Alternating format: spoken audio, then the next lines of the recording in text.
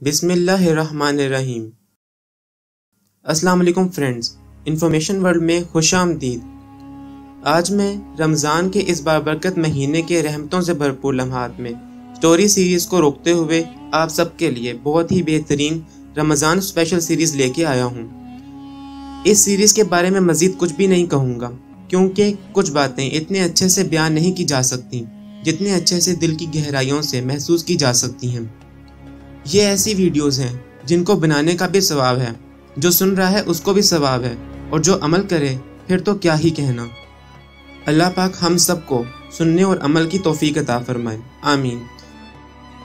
Series की शुरुआत से पहले, आप सब दोस्तों से गुजारिश है कि चैनल को ज़रूर सब्सक्राइब कर लें और साथ मौजूद बेल आइकन को भी दबा दें, ताकि आने वाली हर वीडियो का नोटिफिकेशन आप सबको फ़ौरन मिल सके। आइए सीरीज़ की शुरुआत करते हैं।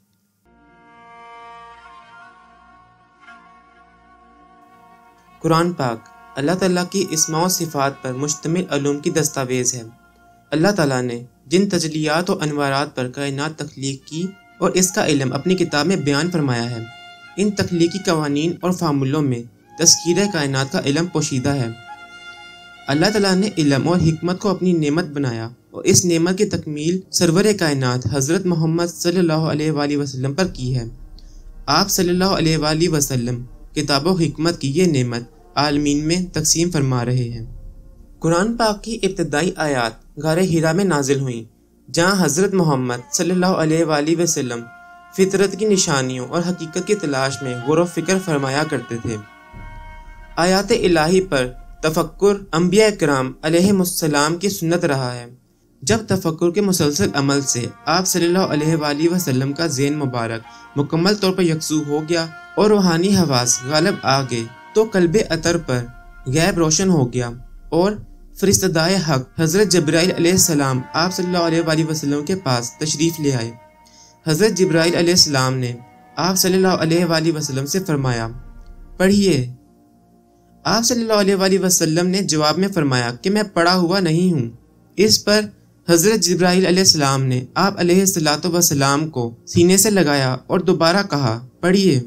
आप सल्लल्लाहु वसल्लम ने दोबारा फरमाया कि मैं पढ़ा हुआ नहीं हूँ। इस तरह ये मुकालमा और अमल तीन मरतबा दोहराया गया और फिर सैदना हजूर वसलाम ने इब्तदाई आयात पढ़ी। अल्लाह ताला ने कुरान पाक अरबी ज़ुबान में नाजिल फरमाया, जो सैदना हजूर वसलाम की मादरी ज़ुबान है।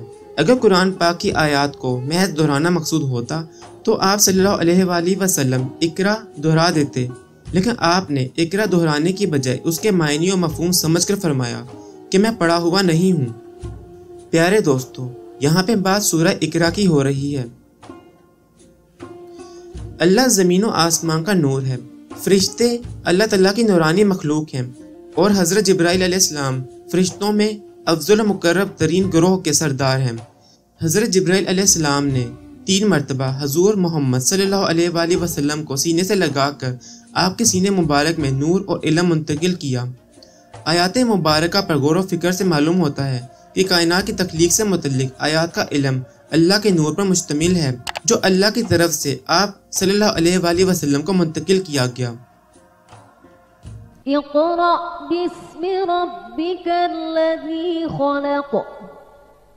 खलक।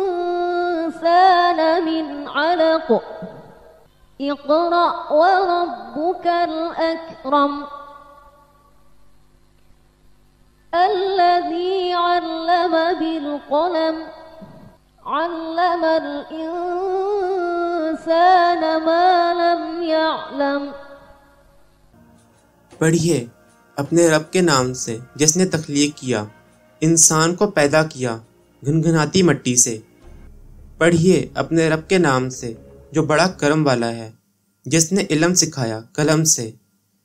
इंसान को इलम सिखाया, जो वो नहीं जानता था। अल्लाह ताला ने कुरान पाक की इब्तदाई आयात में तख्लीक का इलम सिखाया और आखिरी आयात में दीन और अपनी नेमत की तकमील का बयान किया है। इब्तदाई आयात में तख्लीक के दो मराहल या रुख अलहदा बयान किए गए हैं।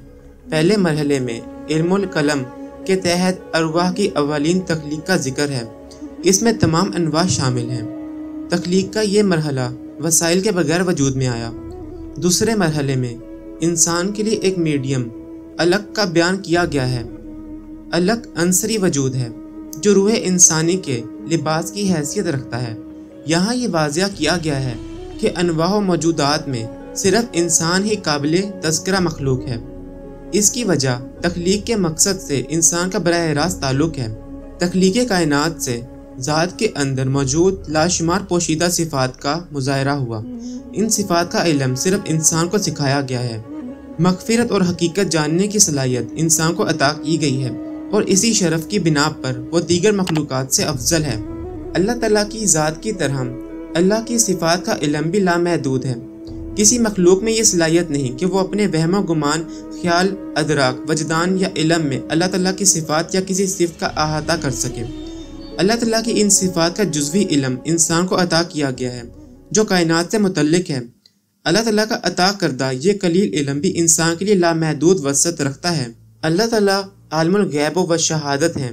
ज़ाती बारी तला ने इस कायनात को अमर खलक के तहत तख्लीक किया, गैब के अलूम में, इल्मुल कलम, इल्मुल किताब और आलमुल अमर के कवानीन फार्मूले शामिल हैं, जबकि आलिम शहादत में अनासर के अलूम कार फरमा हैं। सिफात या नूर के तनजुल से रोशनी, रंग और अनासर बनते हैं।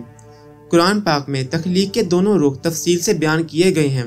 मादा भी अल्लाह की तख्लीक और इलम इलाही है, जो कलम, लूह और अमर के जोन से गुजर कर अनासर का रंगो रूप इख्तियार कर लेता है। पहले मरहले में इल्मुल कलम के तहत कन फ़याकून हुआ? और अरवाह तख्लीक हुई। दूसरे मरहले में अलसद बेरबी कुम कहकर अल्लाह तला ने अरवाह को अपनी सिफात का मुशाहिदा और तारुफ कराया। तीसरे मरहले में एहसन और तकवीम के तहत इन सिफात का इलम इंसान को सिखाया गया। लेकिन चौथे मरहले में जब इंसान आलमुल दुनिया या असफल साफिलीन में पैदा होता है तो कायनाती शूर से पस्तर मादी शूर में दाखिल हो जाता है। इस तरह तख्लीक किताबुल मुबीन, लूहे महफूज और आलम मिसाल से गुजरती हुई आलम दुनिया के मादी शोर में दाखिल हो जाती है। इज्तमाही शूर के मुकाबले में इंसान इनफरादी शूर में इतना महदूद हुआ जाता है कि रोज़ अज़ल किया गया अहद, मुशाहिदा और आलिमुल समा के तहत नियाबत और खिलाफत का मनसब और इलम पस पर्दा चला जाता है और इंसान जमान मकान का पाबंद और वसाइल का मोहताज बन जाता है। इंसान का मादी शौर इतना महदूद है कि वो मज़ाहिर यानी आसमान, सूरज, चाँद, आग, पत्थर हती के हैवानात को भी अपना मबूद तस्लीम कर लेता है। जबकि फितरत की अफाकी निशानियाँ इंसान की अकलो शौर को मादा के पसे पर्दा मौजूद एक कायनाती हकीकत यानी रूह के शौर हवास की आगाही बख्शती हैं, जिससे ये मालूम होता है कि वो तो आलमीन ज़मान मकान से आज़ाद और वसाइल पर हाकिम है। साहिब अमर की हैसियत से मखलूक पर हुक्मरान अल्लाह का नायब और खलीफा अर्ज़ है।